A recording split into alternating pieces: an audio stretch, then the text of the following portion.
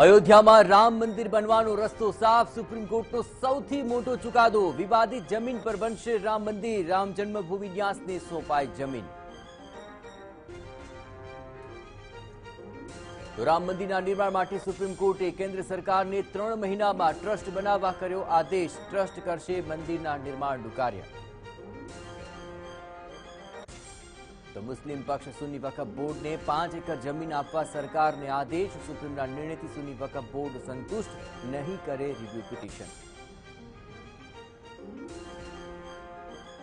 Supreme કોર્ટના ચુકાદા બાદ વડાપ્રધાન નરેન્દ્ર મોદીનો દેશને સંદેશ કહ્યું, રામ મંદિર પછી હવે રાષ્ટ્રના નિર્માણ માટે થાઓ એક. સુપ્રીમ કોર્ટના નિર્ણયને કોંગ્રેસે પણ આવકાર્યો, કહ્યું, તમામ સમુદાય શાંતિ જાળવી રાખે.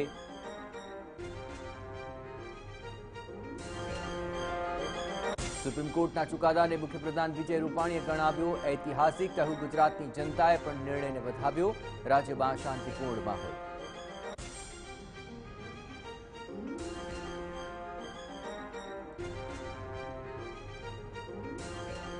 તો ટીવી નાઇનની ટીમે અયોધ્યા વાસીઓ અને સાધુ સંતો સાથે કરી ખાસ મુલાકાત. સુપ્રીમના સર્વોપરી નિર્ણયને વધાવ્યો.